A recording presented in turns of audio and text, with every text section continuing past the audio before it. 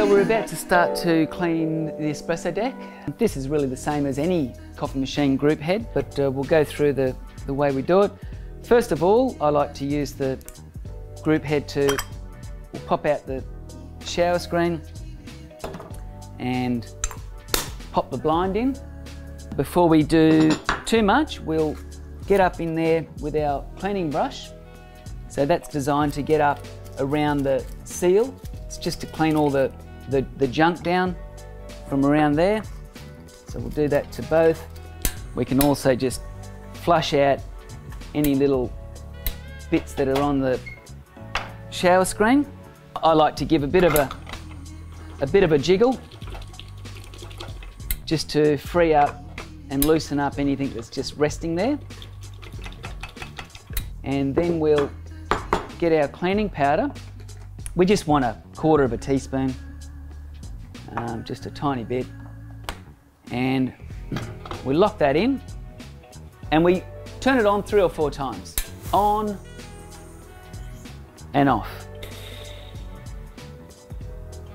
On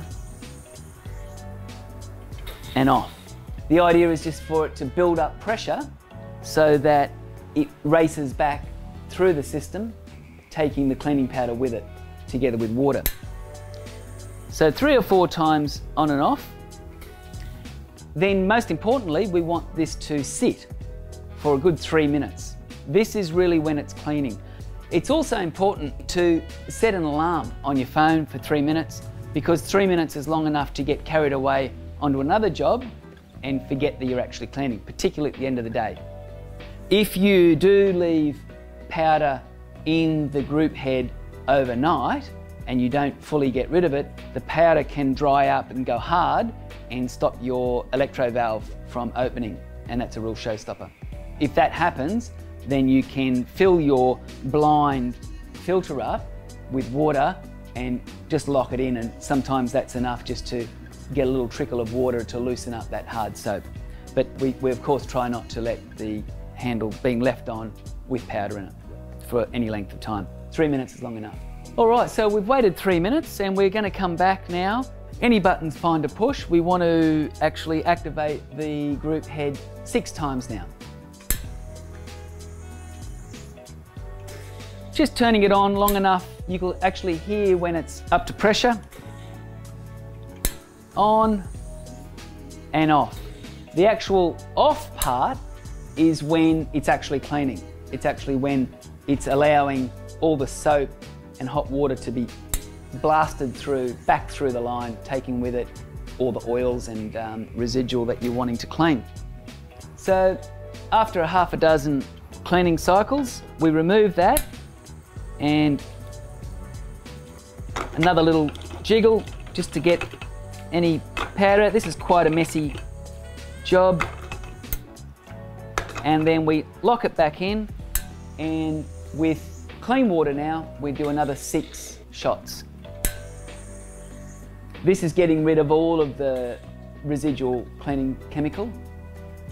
It's important not to serve the first coffee. It's, a, it's actually important to discard the first coffee so as to line once again the parts with the coffee flavour and oils.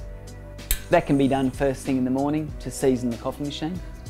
Uh, of course, each group needs to have that job done to it. Just a little bit of cleaning powder. Your cleaning powder needs to be fresh, should have a foaming action, and if it's not fresh, it won't have that foaming action. The foaming action makes it reach up and rest on all the parts in the coffee machine that needs to be cleaned. So to keep it fresh, pop the lid back on the powder when, when you're not using it. So, lid back on, lock it in, and three times on and off. So, as for cleaning the coffee machine, it's very important to clean the group portafilters. To do that, I remove the filter basket.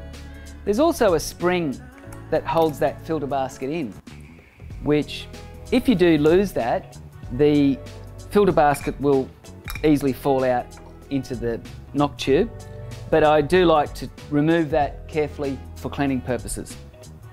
We are actually going to place that then into the bucket.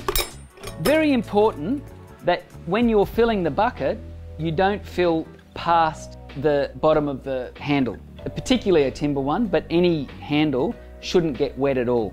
The water level should just come to the top to clean all these parts in here.